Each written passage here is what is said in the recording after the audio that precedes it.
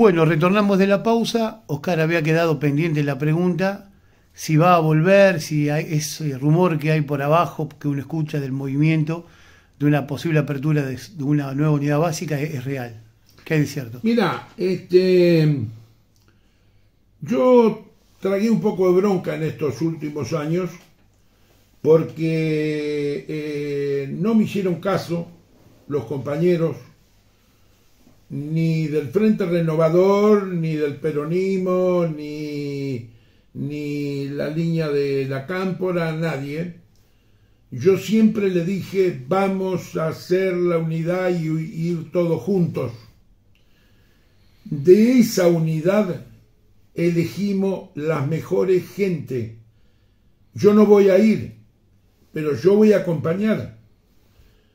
Eh, en la primera vez me dijeron que sí, que no, que sí, que no, que sí, que no, dilataron hasta último momento y después nosotros en 24 horas tuvimos que hacer la lista, una lista que yo sabía que no ganaba. Y no ganó. Y no ganó, lamentablemente. ¿Por qué? Porque capricho de algunas líneas peronistas. En la segunda oportunidad, eh, la candidatura a intendente, yo le dije a Mariana, Mariana, vamos todos juntos y elijamos una lista potable. Vamos todos juntos, que juntos podemos empatar. No sé si ganar, pero podemos empatar y hacer una muy buena elección. Que yo creo que se ganaba. Le digo, no, haga, no hagamos interna, busquemos una lista única y avancemos y yo voy a respaldar en todo lo que haga falta. Yo tengo el 34, casi 35% de encuesta, pero no voy. Quiero que los jóvenes y los nuevos entren al ruedo y entren en la lista. En una primera reunión. En una segunda reunión volví a repetir lo mismo, pero me dice, sí, pero no hay acuerdo, va a haber interna. Bueno, perfecto. Si hay interna, yo no voy a participar, no voy a apoyar a ninguna línea, pero después el que gane las internas, yo lo voy a respaldar para que pueda ganar y pueda triunfar en Capitán Sarmiento. Me dijeron la candidata intendenta, que fue, me dice, yo no necesito que nadie me respalde, y yo no quiero respaldo de nadie y yo ya tengo la lista hecha, así que nosotros, si hay alguno más, vamos interna y si no, yo voy a la final. Y ahí se rompió todo. la Frente Renovador no presentó lista, iba a presentar, no la presentó. Eh, Scioli iba a presentar lista, no la presentó porque lo bajaron a Scioli. Así que quedó sola. Quedó sola y tampoco, yo lo voy a decir abiertamente, porque esto lo tengo que decir, a mí me dio mucha bronca, no aceptaron la colaboración mía. ¿Usted lo ofreció? Sí, sí, y no aceptaron. Entonces los dejé solo. No salí en los medios, no salí en ningún lado, ni a favor ni en contra, neutro totalmente. Fui a votar como ciudadano el día que tuve que ir a votar, que se dieron las elecciones y nada más. Pero ahora yo veo que tenemos que juntar al peronismo. Tenemos que juntar al peronismo tradicional. Hay mucha gente joven que quiere participar. Hay mucha gente con experiencia que quiere participar. Y yo voy a abrir la unidad básica, ya te va a enterar en algún momento, pero a corto plazo voy a abrir la unidad básica, a donde voy a citar a todos los peronistas, a todos, sin excepción de ninguna índole, todos a trabajar juntos, por Capitán Sarmiento, por la gente Capitán Sarmiento y por el peronismo, que el peronismo siempre fue líder y bastión en Capitán Sarmiento. Tiene que seguir siéndolo porque es una vergüenza lo que ha pasado en esta gestión que pasó de Javier Iguacel y es una vergüenza lo que está pasando ahora. Entonces tenemos que armarnos todos a reunirnos, a juntarnos, formar una lista potable con gente nueva, gente joven, con algunos de experiencia que son útiles, que también tienen que estar, pero tenemos que hacer las cosas con seriedad, con responsabilidad y con mucha gana de trabajar en política, que eso es lo que está esperando la gente de Capitán Sarmiento. Bien, ¿usted candidato nuevamente? No voy de candidato en este momento, voy a hacer la, fuerza y hacer el conjunto con los compañeras y los compañeros de hacer un eh, eh, bloque político conjunto y homogéneo para enfrentar las próximas elecciones legislativas y las de renovación de intendente. Si estoy con buena salud y el pueblo me lo pide o los compañeros me lo piden, analizaremos. No tengo problema. La fuerza y las ganas que tuve en el 95 para ser intendente, las tengo hoy, con 29 años más. Pero tengo la misma ganas y la misma fuerza de seguir trabajando. Gracias a Dios, Dios me está dando buena salud y espero que siga hasta cuando Él diga, por supuesto, este, pero no tengo problema. Tengo experiencia, creo que he demostrado muchas cosas en el pueblo y, tengo ganas de ayudar a la gente, que eso es lo fundamental.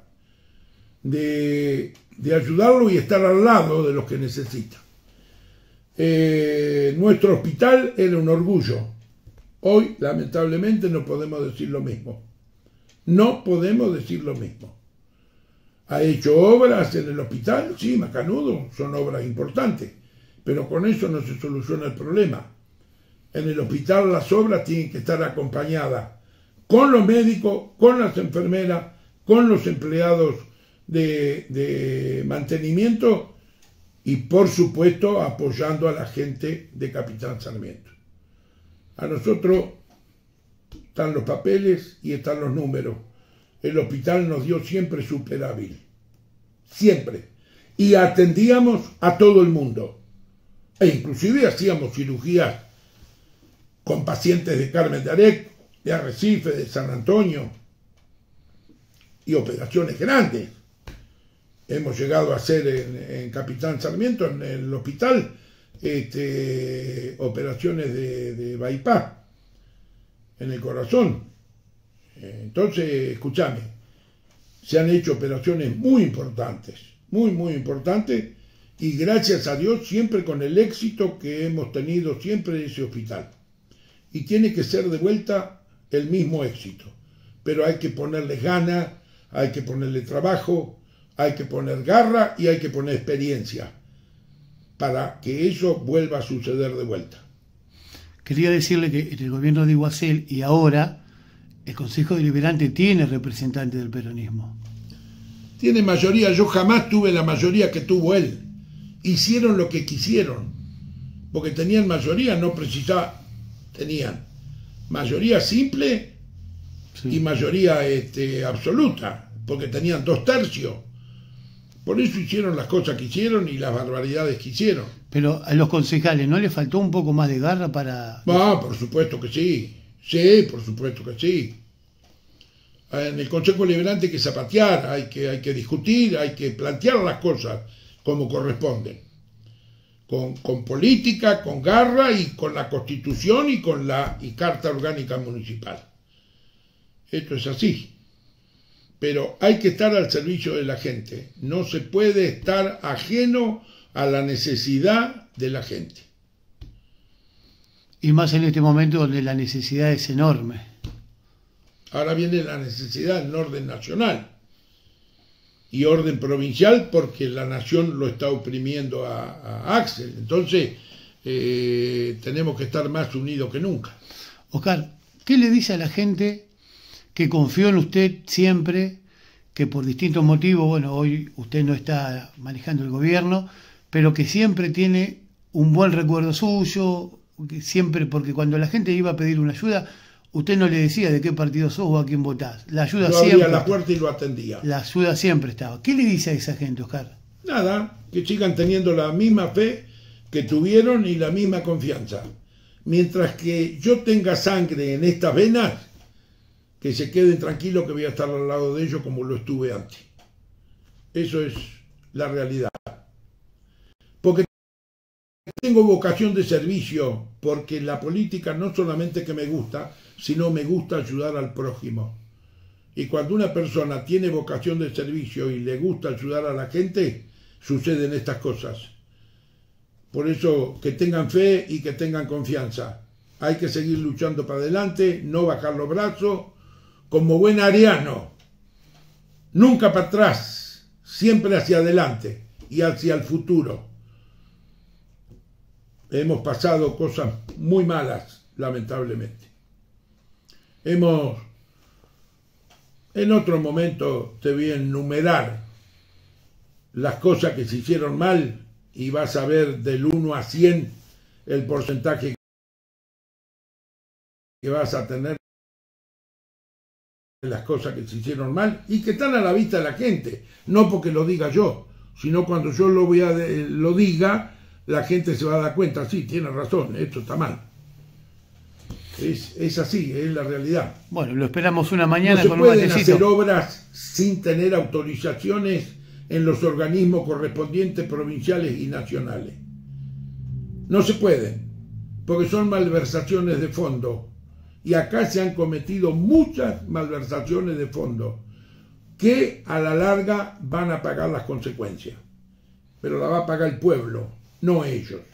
Entonces, eso es lo que hay que evitar y hay que hacer las cosas dentro del marco de la ley, la constitución y la Carta Orgánica Municipal. Oscar, lo esperamos una mañana de esta con un matecito calentito Cómo no, con mucho gusto. para hablar un poquito gusto. más, si le parece. Ya por ahí tengo alguna novedad y, y te llevo la novedad fresca. Bueno, perfecto. Oscar, muchas gracias. ¿eh? Gracias a vos por